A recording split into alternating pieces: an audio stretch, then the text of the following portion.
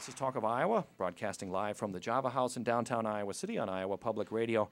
I'm Ben Kieffer. Pleasure to have uh, Nate Staniforth with us. This is interesting because you talk about um, so sort of the development of magic. Uh, people are not as fascinated as they were with, uh, at, you know, how many years ago with pulling rabbits out of hats and, and things like this. We have entered an age of sort of anti magic.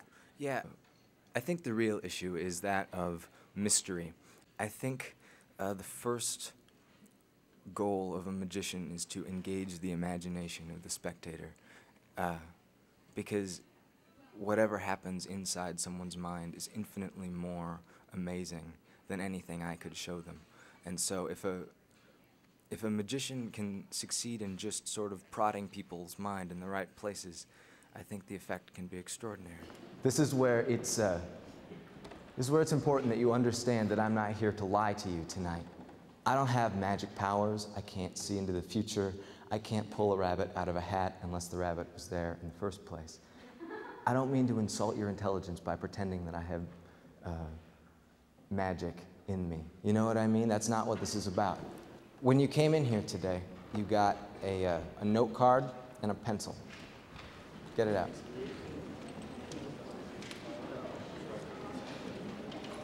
Here's what I want you to do. Take that pencil that you got, on your note card, I want you to just sign your name. You know what I mean? Just autograph it, uh, just so you could recognize it again. And then I want you to fold it like this in half, so the writing's on the inside so no one can see, and then fold it in half again. Does that work? Can you help me out? Sure. Uh, I want you to just take your hat, take around, get it from everybody. Everyone pass, pass the slips in. If some other people have hats, uh, that's fine too. Yeah, yeah, just, just pass them in. Do we have anybody with a hat over here? Can you help collect them over here? Yeah, that's good.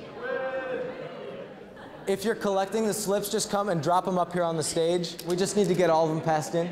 Are there any? Uh... Oh, we got the big one coming in. Good, good, good. Listen, I want you to, uh, I want you to just dump them with all the other slips, and then I'm going to turn away and I won't look. I want you to mix them completely up. So the, the ones from your hat mix with all of the other hats. I'm not going to watch. Uh, just, just mix them up and let me know when you're done.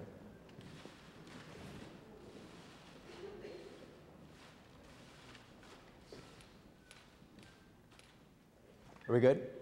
Okay, so here's the idea. I'm going to, I'm going to pick one, but I don't, I'm, I don't want you to think that I'm looking at it. You know what I mean? Mm -hmm. So I'm just going to get one. This one, is that fair? Yeah. You agree that if I hold it in my hand like this, I can't see what it is? Yeah. Okay, you can have a seat. So here's the scenario. All of you wrote something on your slip of paper. All the slips were collected. I reached in and pulled out one. You mixed them up so I couldn't, I couldn't know where, where it was from. The idea here is that I'm going to go around and try and figure out whose I've got. Here's how this is going to work. I'm going to go around. If I look at you, look at me back. It doesn't have to be strange or anything. Uh,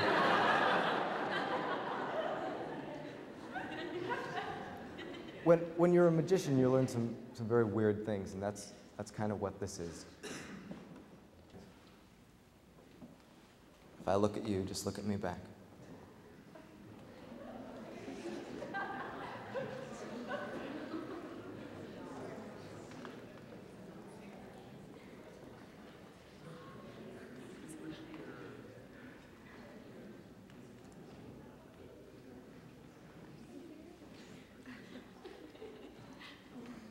What's your name in the sweater?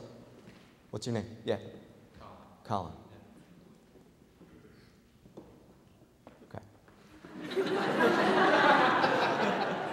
I'm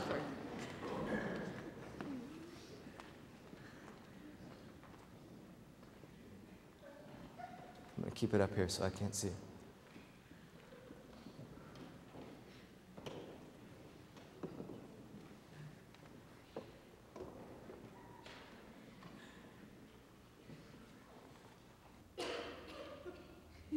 What's your name?